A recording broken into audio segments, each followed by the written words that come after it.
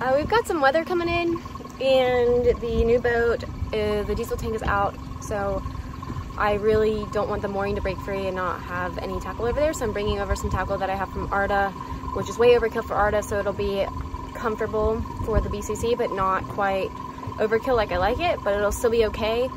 Um, in the meantime, I'm leaving some tackle over here on Artha, and I just turned the motor on, to make sure the motor works fine, which is working fine and yeah, so I'm gonna get the new boat ready for a some potential inclement weather. Motor is running, and let's just test it and make sure it revs up. Yeah.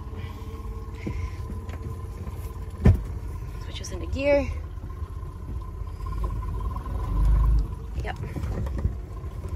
So that's all I need to know on this end. Turn it off, tilt it back up. So glad this tilt trim works. Thank you, Brock. All of my anchor tackle is in here. And I like my Delta because it does well when it needs to reset. It When it reset with the Category 1 Hurricane Nicole that went right over, the eye went right over us. This held fine, but my Danforth style actually fouled. And if there's going to be any potential for resetting, I would like to have the one that doesn't foul. So that's the one that I'm gonna bring. Artha is gonna be fine. She only weighs 5,200 pounds. I'm not too worried about her. And I do have an old CQR that somebody gave me. I've never used it before, but it's got a complete tackle setup. And I'll probably just leave that one along with the Danforth style on this boat. This is the part that I don't like on this rode, and it's right near here. And just with the heavier boat, I would rather have the braided and keep the three strand on Artha.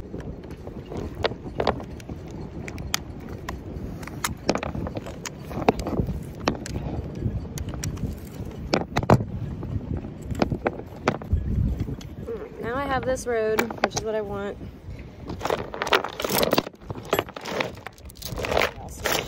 These guys around.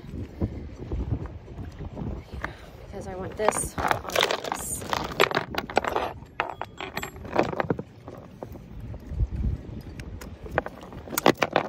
the seizing wire first.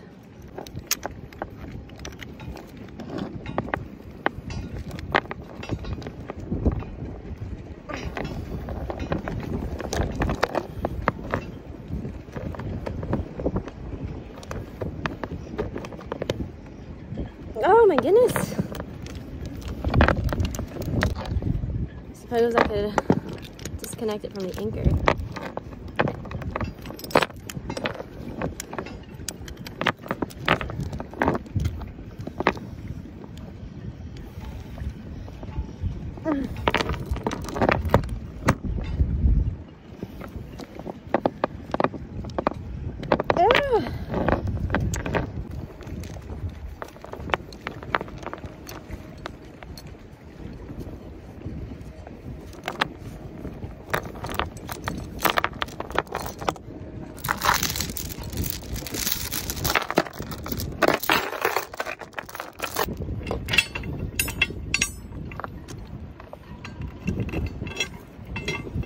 This one undone.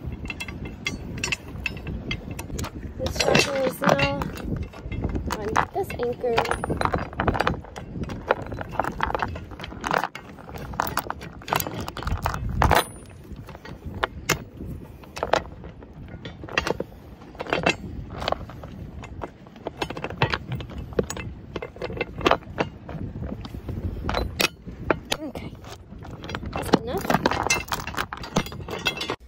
This anchor is now set up on Artha and I just have to put seizing wire on the shackle and I'm bringing this over to the new boat. Pretty windy out here with the trades so I am recording this but this is the anchor that I have over here. It looks pretty good. I did measure, well she's got a CQR um, over there as well but I've never really used one before. The chain, I measured it, it's about 20 feet which is a little too short, in my opinion. I'm going to use this as a backup. She had 60 feet of three strand. The Delta is set up.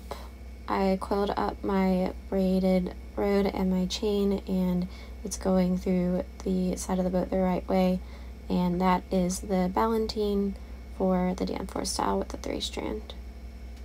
I noticed the other day when after it started raining that I was getting a little bit of water inside and it's coming from the bolts and the solution to that I asked a friend he said I could put butyl tape on the screws and that will be a temporary fix until I can redo it and bevel it out and seal it in properly. And yep. I've succeeded in figuring out how to use butyl tape without it sticking to my fingers.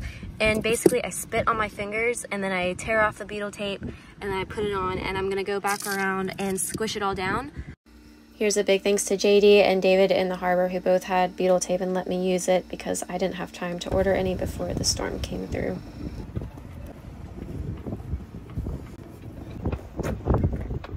It's the dry season right now in the Dominican Republic and we're about to get a lot of rain from Franklin, Tropical Storm Franklin and I wanted to make, there's no water damage to the toe rail or anything right now and I want to keep it that way.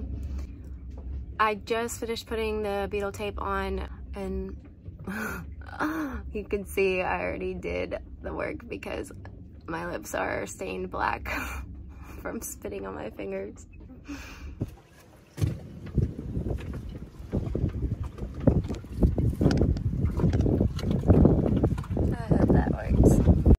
I asked the harbor if anybody could come out and help me back down on my boat on my mooring because I don't have a working motor to do it right now with the diesel tank out and these people are helping me do that with their dinghy.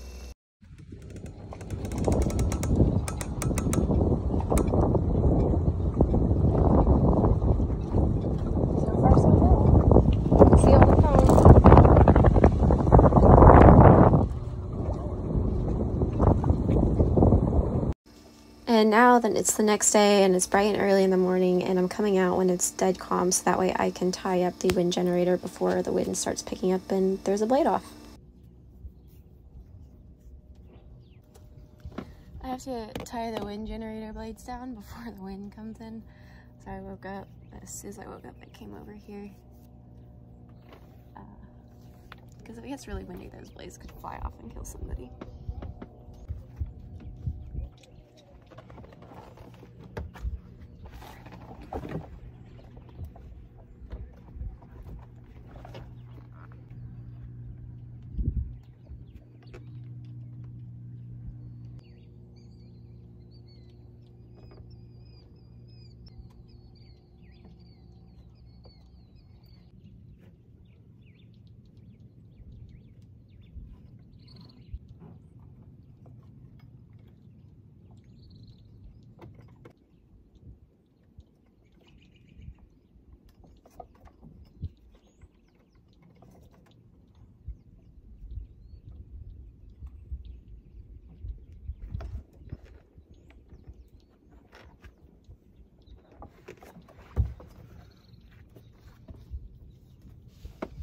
I tied a clove hitch and two half hitches there, did a couple turns, and then another clove hitch, two half hitches there, and then tied it back down.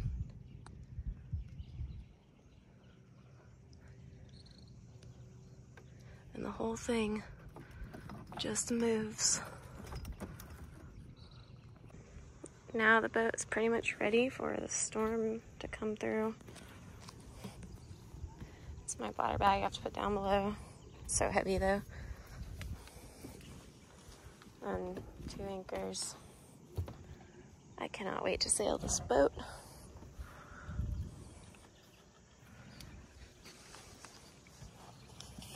It's so peaceful out here this morning. That's how it always is in the mornings.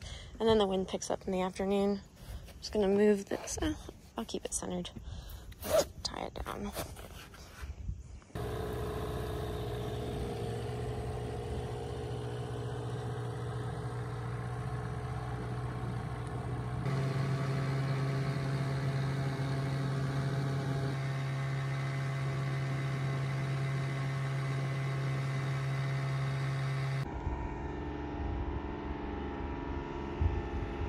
They've got it down over there.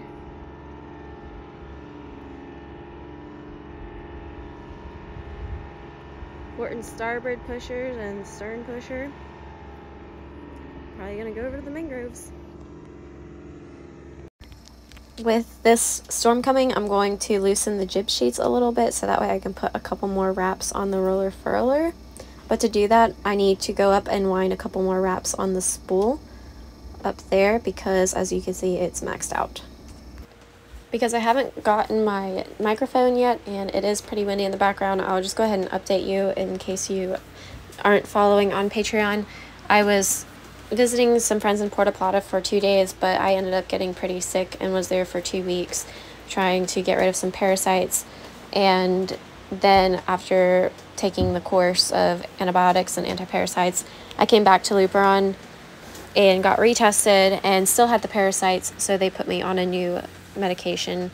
But hopefully that's getting under control. And now that I'm back in the harbor, I've started to work on some boat projects and I'm also very grateful for all of the people who have ordered off of my Amazon wishlist so far. I've gotten some electrical stuff, and that's going to come in really handy when I go to redo the entire interior of the boat and set it up so that way I can actually live on it comfortably. So I really appreciate all of that help. I think I'm selling Artha next week, and that money is going to go towards a lot of projects that I have planned for the haul out. I didn't feel comfortable bringing my phone up, but I took the line through the pad eye and wrapped it around the spool a couple times so that way when I pulled back on the roller furler, it would wind the spool up even more and the jib sheet would wrap around the roller furler and I still have one extra wrap around the, the spool at the bottom. It's not predicted to be terrible, but I am erring on the side of caution, especially with a boat that doesn't have a working motor right now.